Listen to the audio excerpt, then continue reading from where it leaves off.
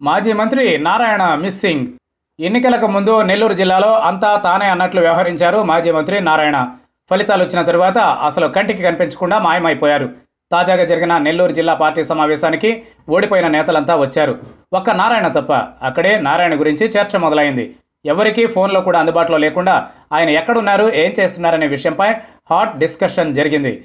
చివరిగా చంద్రబాబుకు కూడా నారాయణ అందుబాటులో లేరని అధికారంలో ఉన్నన్నాళ్ళు మాపై పెత్తనం జలాయించి ఇప్పుడు ఏమీ పట్టనట్లు మాయమైపోతారా అంటూ విమర్శిస్తున్నారు జిల్లా నేతలు.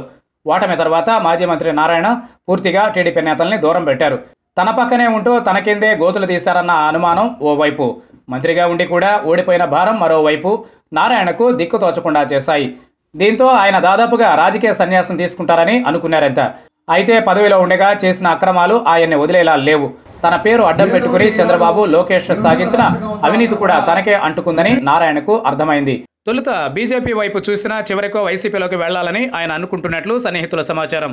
విద్యా సంస్థలు ఉన్నాయి కాబట్టి స్మూత్గా ఈ వ్యవహారాన్ని డీల్ చేయాల్సిన అవసరం ఆయనకుంది. ఎమ్మెల్యే పదవి కూడా లేదు కాబట్టి జగన్ కండిషన్ ప్రకారం రాజీనామాలు లాంటి ప్రహసనాలేవీ లేకుండా నేరుగా గోడ దూకేయొచ్చు. అయితే నారాయణ ప్రయత్నాలకు మంత్రి అనిల్ మోకాలు అడ్డుతున్నట్లు తెలుస్తోంది. ఫలితాల తర్వాత కనీసం టీడీపీ కార్పొరేటర్లను కూడా తన దగ్గరకు రాకుండా కట్టడి చేసిన అనిల్ ఇప్పుడు నారాయణ చేరికను కూడా అలాగే అడ్డుకుంటున్నారు. తనపై పోటీ చేశారన్న విషయం ఒక్కటే కాదు. నారాయణను పార్టీలో చేర్చుకుంటే స్థానికంగా ఉన్న కేడర్కి తప్పుడు సంకేతాలు వెళతాయని అంటున్నారు మంత్రి అనిల్. ఇప్పటి వరకైతే నారాయణ తెర వెనక ఉండే మంత్రాంగం నడుపుతున్నారు. అసలు తన ఉనికి ఎక్కడుందో ఎవరికీ తెలియకుండా జాగ్రత్త పడుతున్నారు.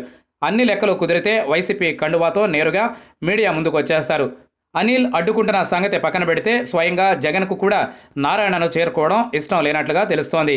తన ప్రజా సంకల్ప యాత్రలో నారాయణ విద్యా సంస్థలపై విమర్శలు ఆరోపణలు గుప్పించిన జగన్ ఇప్పుడు అదే విద్యా సంస్థల చైర్మన్ను తన పార్టీలోకి ఆహ్వానిస్తారని ఎవరు అనుకోరు. సో నారాయణ ఇంకొన్నాళ్ళు ఇలా అజ్ఞాతంలో గడపాల్సిందే.